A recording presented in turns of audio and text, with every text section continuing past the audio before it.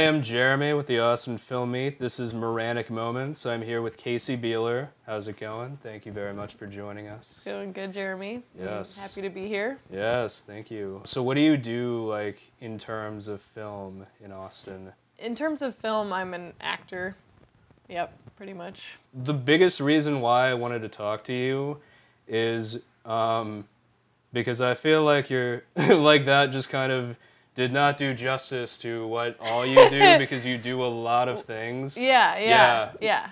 Okay, so in Austin, I'm also an improviser and I'm a designer, so I work at the Hideout Theater downtown. And I do scripted acting, and I'm a painter. I do like oil paintings and murals and stuff, and like graphic design work. Yeah, yeah. and um, costume design Nice. and scenic design. Visual art and performing Mm-hmm. sometimes go like head to head against each other. Which came first for you? Visual art came first only because I was able at like the age of three, I guess, to start like drawing.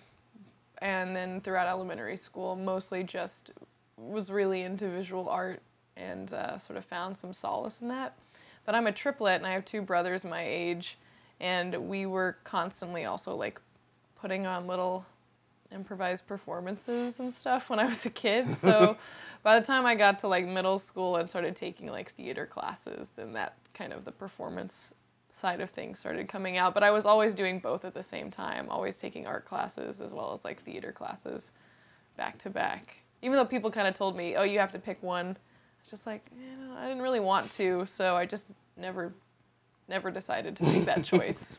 Would you say that Austin is a city that definitely supports um, people who do many things? Like, do you feel that this city tries to force you to label yourself at all? You know what? I feel like Austin is the least of the like places I've been to want to label me. I feel like Austin is that's part of why I live here is because I feel like the I don't know, I guess the standard of living isn't so high. It's not like in Los Angeles where I feel like it would be very hard to do all the things I want to do. I'd feel like stretched Totally. thin because I, I know from growing up there that like the commute is insane and I have a lot of family in LA and uh, in Austin, just I don't know if it's the the pacing of life or the I don't know if it's just because people are more supportive of local arts or, or what it is, but I feel like Austin has always let me be who I want to be and feel comfortable in my own skin for sure. Like Yeah. definitely feel that very strongly. What attracted you to improv to begin with? When I was in high school, uh, a group of people in college called the they're named the Well Hung Jury, which is a really kind of dirty joke I didn't realize at the time. But uh, they had all done improv and they had graduated from my high school and were now in college. And so they performed at the Hideout Theater. And I had a lot of friends who were like, You gotta go check this out, you gotta see this group. So when I was like 15, I went with some friends and they were they were very experimental um, for for who they were at the time, uh, doing all different kinds of forms, and uh, I would sit in the front row for every performance when I could get out to see it, and uh, just fall over laughing. It was just so great, and I, I didn't think of it as an art form at the time. I just was like, oh, these are a bunch of friends who are really funny, who enjoy being around each other on stage. Like that's the feeling of like a really good improv show. How does improv affect all the other things that you do? I think it's made me a more flexible person um, in terms of artistic work and kind of knowing when to, you know, stop something. Like when I'm working on a painting or something like that, I'm like, okay, it's finished now. This is good enough. Or even knowing when to start. I think people are really crippled by fear with any project.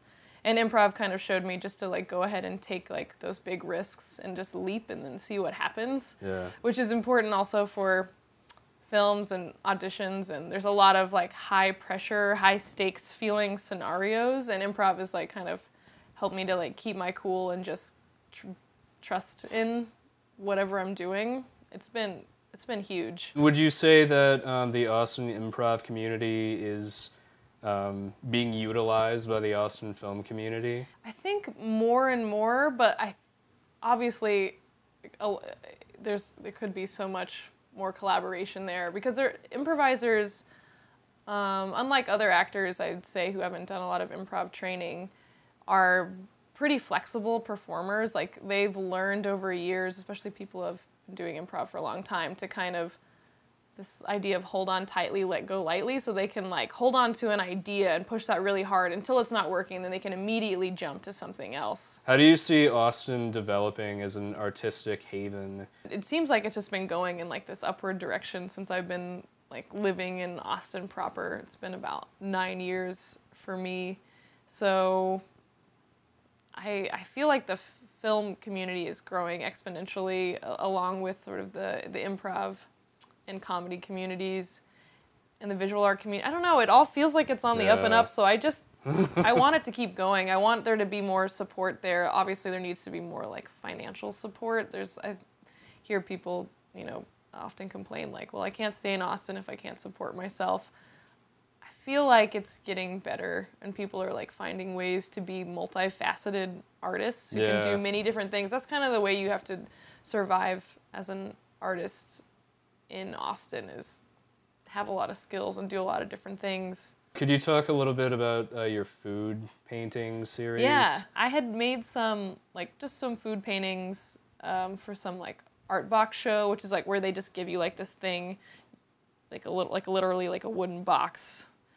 You paint on it. They put a bunch of them up on a wall and sell them for like a hundred dollars each for like charity. So I'd done something for that where I was like, oh, okay, well, if I have to make something really fast, what should I make? Uh, I don't know. It might be fun to do something with food, and then enjoyed that. Started thinking like, oh, maybe make these paintings of like my favorite Austin dishes, sort of feeling this extreme love for Austin at that time and still feeling that love. And um, I also have acid reflux disease, which is a stomach disease. So I was having this sort of weird, uh, really love food, love this Austin food. it gives me pain to eat it. I don't know, there's That something sucks. there. So made this painting series of uh, 10 pieces. Um, it's like sort of hyper realistic uh, on canvas oil paintings. People really liked them a lot, like m- much more strongly than I even thought as I was making them.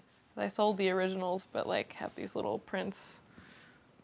So yeah, just just going places and being like, oh, I really like how that looks.